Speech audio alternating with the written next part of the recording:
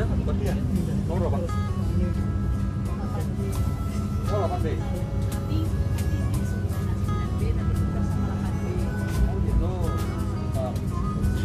Ya. Terus sama berapa lagi? B 8D Oh maaf, soalnya 8A nya yang harusnya dari nomor tuh. yang di Coba nomor apa sih? Nomor berapa?